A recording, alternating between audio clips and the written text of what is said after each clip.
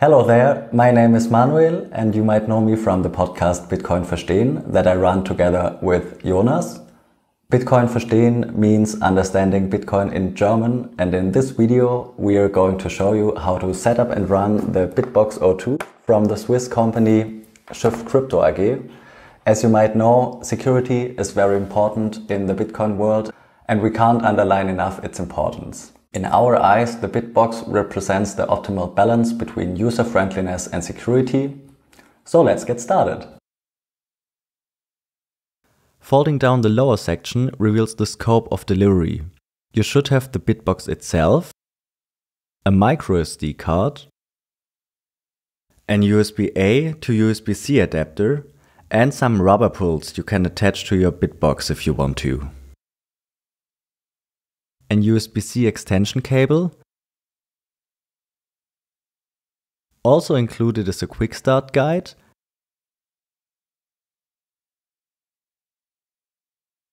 and most important, some Bitbox stickers. You can get the link to the software from the Quick Start guide. By following the link, you need to select the operating system of your computer or smartphone you can choose between Windows, Mac OS, Linux, and Android. Since we're working with a Mac, we click on Mac OS, download the file, and install it. When you start the software for the first time, you will be asked to connect the Bitbox to the computer. Before we do that, we need to prepare the Bitbox. No worries, there's not much work to do. You only need to insert the SD card into the bitbox. On the side of the bitbox, you will find the provided slot. Take care that the SD card is locked in place. You will hear a soft click. After that, you only have to remove the protection film and you're ready to go.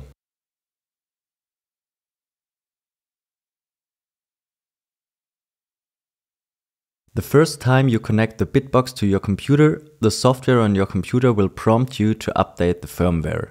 You can download the update by clicking on Install Firmware Now.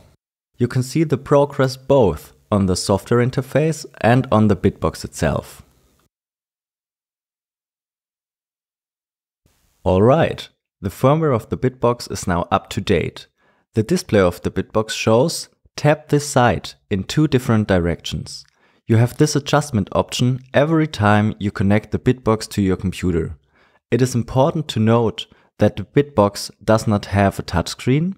You can control it via two touch-sensitive fields on the top and the bottom. To adjust the display in the right direction, I click on the lower touch-sensitive area of the Bitbox. As part of the pairing process, four sequences of dials will be shown on the computer. These also appear in the bitbox. If they match, confirm by clicking in the upper right area of the bitbox and then click Continue on your computer. We are now asked if we want to create a new wallet or restore an old one. Since we are setting up the wallet for the first time, we click on Create Wallet Afterwards, you can assign a name for your wallet. As an example, I will enter Bitcoin Verstehen here and click Continue. A message appears on the computer that the process now continues on the Bitbox itself. The Bitbox display will show you the name of the wallet you just created. When the correct name is shown on the display, you can confirm it by tapping in the upper right area of the Bitbox. Next, you will be asked to set a password. This password must be entered each time you connect your Bitbox to the computer. The password is entered via the Bitbox. As mentioned before, the password is not entered via the display itself, but using the touch-sensitive areas on the top and the bottom of the Bitbox. In the middle part of the top area, you can choose from different types of signs by tapping on the area. For example, if you want to start with a lowercase a, you select the series of letters by clicking on the corresponding area on the lower touch sensitive area. After that, I click on ABC and then select the A. I enter all other letters and numbers in the same way. For example, if I want to add a capital B after the lowercase a, I select capital ABC in the upper middle area of the bitbox and navigate through the lower areas until the capital B can be selected. If you want to use a number, you have to select 1, 2, 3 in the top middle area. For example, if I want to add a 1 after the capital B, I select 1, 2, 3 in the upper middle area of the bitbox and navigate through the lower areas as mentioned before. If you want to add a 2 afterwards, just click on the corresponding area. As with any password, we highly recommend you to use capital letters, lowercase letters, and numbers as well, and make sure to create a password that has more than 4 characters. When you have finished entering your password, click the right area of the upper and lower touch sensitive area simultaneously. You will now be asked to enter the password again.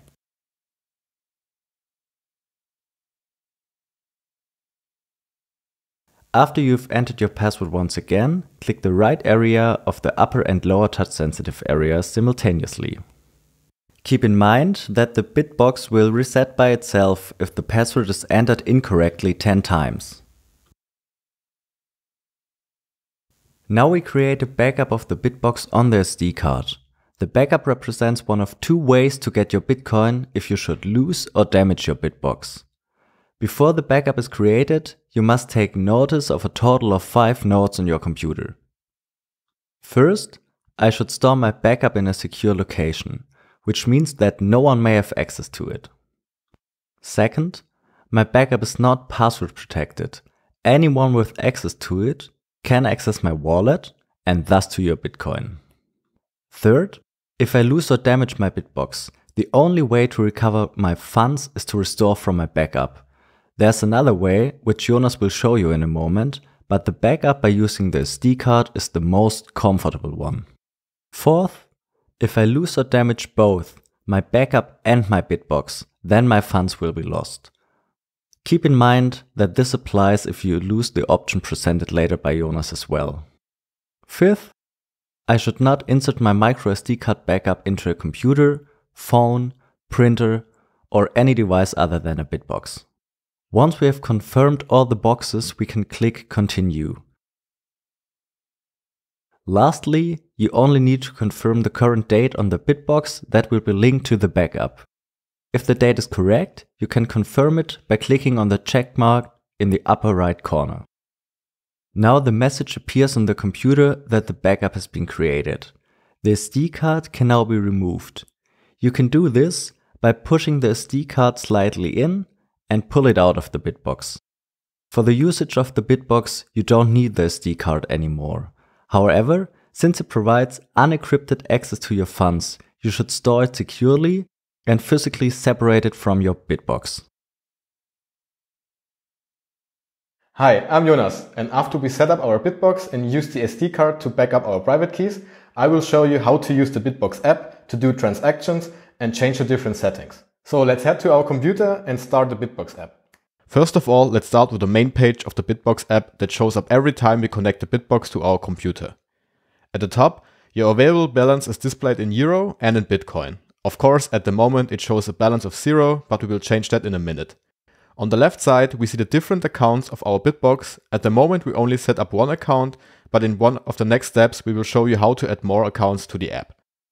Below that, we see the point Manage Device, where we can change the different settings of the Bitbox itself. We will explain that in detail in the next steps. But now we will have a look at the settings of the Bitbox app. You find this part on the left side as well. On the left side of the settings screen, you can choose your currency in which your balance will be displayed in the app. In our case, we choose the euro. On the right side, we have different advanced settings that you don't have to pay attention to at the beginning, but we will show you these in the last steps of this tutorial. At the moment, the Bitbox app is displayed in English, but if you prefer, you can choose a different language. Therefore, you find in the bottom right corner Other Languages. Here you can choose between different translations for your Bitbox app. Just choose your preferred one and all texts are displayed in your language. Now we have set up the Bitbox app, changed the currency and the language. We already showed you how to create a backup of your private keys on the SD card, but of course you can display the recovery seed containing the 24 words as well, so that we have two backups for the Bitbox that we can store in different locations. Therefore, we minimize the risk that we lose our funds if somehow one of our backups gets destroyed or stolen. For showing the recovery seeds in the Bitbox app, we go to Manage Device on the left side and we see in the section Secrets Show Recovery Words. Now we get the notification that the Bitbox app will show us the 24 words and we should write down the words on a piece of paper in the right order. The correct order is crucial. And it's very important that you don't store the recovery seeds in a digital document, take a picture of it or back it up in the cloud. Because everything that is digital stored can easily be stolen. We can only repeat it again. Everybody that is in possession of your recovery seed or the SD card can access your Bitcoin funds, so the security of your backups is really important. So we will click on confirm and we will have to unlock the Bitbox by entering our password again. Now the 24 words are displayed on the Bitbox itself. On the top you see the number of the word, so the position in the order of the recovery seed. And below that you can see each word of the recovery seed. The words are displayed in English and are at least three letters long. With a touch on the button below the arrow, the Bitbox will show us the next word. And now you write down these words by hand in the correct order. And we will go through them word by word right now.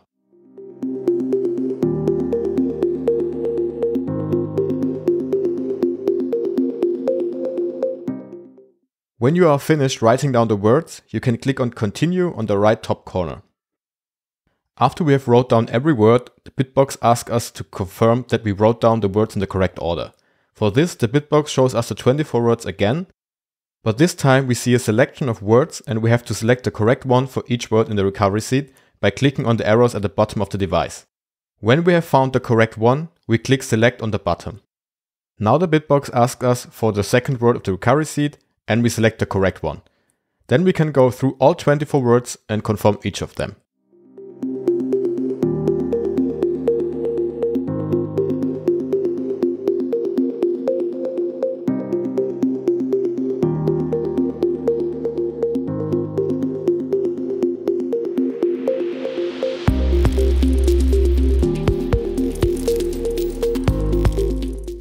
Now we have confirmed each word of a recovery seed and we selected every word correctly. So we can store the recovery seed at a secure location and we have a second backup additional to the SD card. We have set up the Bitbox app and we wrote down the recovery seeds, so we have two backups for our wallets including the SD card. Now we can create our first transaction. So let's start receiving our first Bitcoin or Satoshis on our Bitbox. For that, we choose the account which we want to use to receive the transaction. At the moment we only got the account that is created during the setup process and it is displayed on the left side. So we select it by clicking.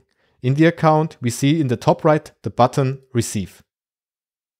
In the next step, the Bitbox app will show you a receiving address and the Bitbox will always display 20 different addresses to receive your Bitcoin that you can click through by using these arrows. These different addresses will always be shown to you as this increases the security and most importantly privacy. It doesn't matter which address you will choose, since all addresses belong to your wallet. And for every new receiving process, the Bitbox app will always show you different addresses each time. For showing the complete address, you have to click on Show and verify full address on device. The address will now be displayed in the Bitbox as a QR code and as an address to copy. You can also see the address on the Bitbox for checking again whether the two addresses match. This prevents you from the risk that your computer is displaying a wrong address because it was hacked for example. On the Bitbox, you then have to scroll through the address by swiping along the bottom to check if the address matches the one displayed in the Bitbox app on your computer. Afterwards, you can either scan the QR code, for example, with your wallet on your smartphone, or copy the receiving address and send it to the sender. We recommend that you start with a small amount to test so that you can get used to the entire process. After that, you can receive large amounts. When you have received Bitcoins, you will see your balance in euros and in Bitcoin on the start page, as well as the transaction that we have received. Now that we have received our bitcoins, we can of course also send them. To do so, we click on the send button in the upper right corner. Of course, this button is only displayed if we have funds on our Bitbox. Afterwards, we can enter our receiving address in the next step, the address to which we want to send the Bitcoin. Either we have copied this and we now simply paste it to the field, or we can scan a QR code with the camera. Then we can choose the amount, either the entire amount, for this we click here above on the small box, or we choose only a proportion of our balance. Then we can also select the priority, that is how quickly I want to have the transaction confirmed the Bitcoin network on the blockchain. The higher the priority, the higher the fees can be for this transaction. Besides that, I can also optionally enter a note so that I know, for example, what I sent this transaction for or to whom. To complete the transaction, we then click on Review at the bottom right. Then the Bitbox shows us again an overview with all data of the transaction, the receiving address, the amount and also the fees. This information is also displayed on the Bitbox itself, so you have to check again whether the information matches the information displayed in the Bitbox app. We click once on the arrow at the top right, and by pressing with both fingers, we confirm the transaction.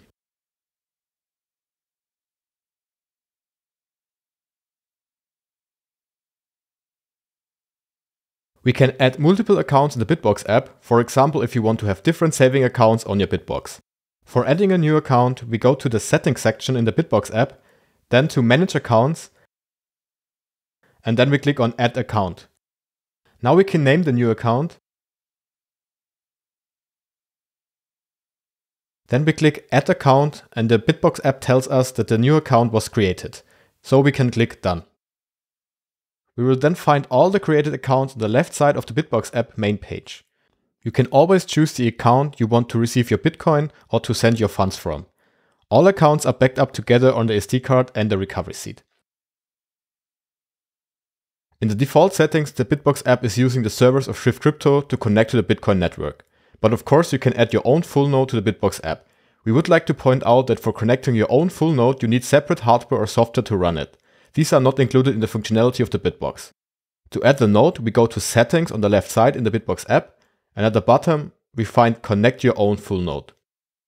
Here you can see that the servers of Shift Crypto are displayed as the default settings.